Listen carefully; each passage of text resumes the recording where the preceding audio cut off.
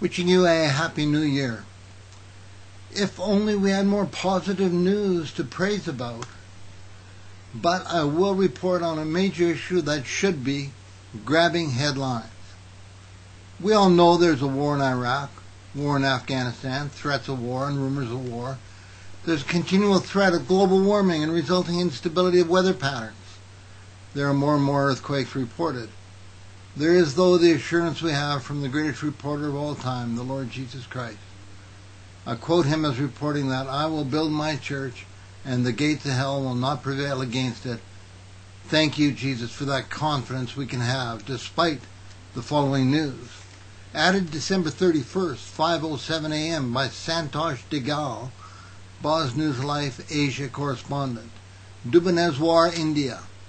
Over 1,000 Christians, including priests, nuns, women, and children, have fled to the jungles of India's Orissa state, where deadly anti-Christian violence entered its seventh day, a church official told Bos News Life Sunday, December 30th.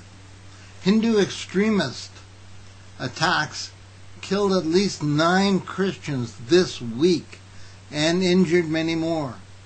The All India Christian Council, a major advocacy group, coalition of thousands of Indian denominations, organizations, and lay leaders, said so far six dead bodies have been recovered, while about 400 Christian homes and 60 churches were torched by angry Hindu mobs.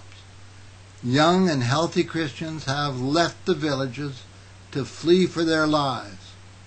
Children, women, old and sick who could not flee for their lives are in great danger, said Dayal. Christians, he said, are starving for the last four days. The sick are suffering without medical attention. The violence began Monday, December 24th, when Hindu mobs interrupted Christmas celebrations and vandalized Christmas decorations in several areas of Kandhamal district. The violence soon spread with reports of nine deaths and hundreds injured. Local Hindus claim the violence began after Christians attacked a Hindu leader. Christians say the attacks, the latest in several bouts of religious violence that have plagued the state over the past few years, were sparked by church plans for a performance to celebrate Christmas. Orissa has a history of religious tensions. In one of the most publicized cases, in 1999, right wing Hindu activists burned alive Australian Protestant missionary Graham Stuart Staines and his two minor sons in their car in Orissa following a Bible study class.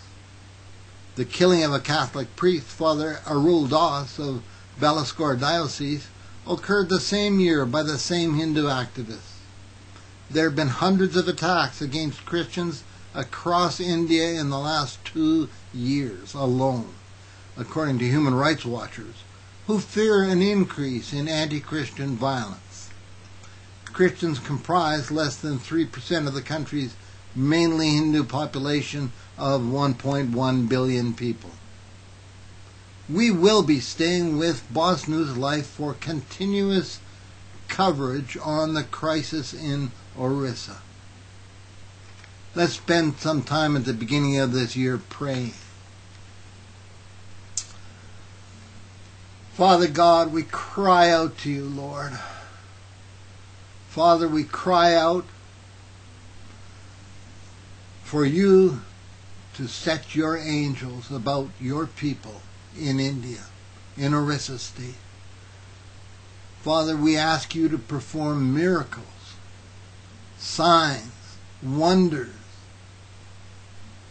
visions, dreams, acts of Holy Spirit that confirm our dear brothers and sisters in their faith, and at the same time that these acts of Holy Spirit and dreams and visions we pray for 1.1 billion of them in the Hindu people of India, leading them to faith in the true Lord Jesus Christ. And we pray again, Father, for 1.5 billion signs and wonders, dreams and visions, and acts of the Holy Spirit in the 1.5 billion Muslim peoples of this world. Father, we commit this year into your hands and we commit ourselves to praying, seeking your face daily, turning from our wicked ways and trusting you to hear from heaven, answer our prayers, and heal our lands. Thank you, Father. We come in Jesus' mighty name. Amen.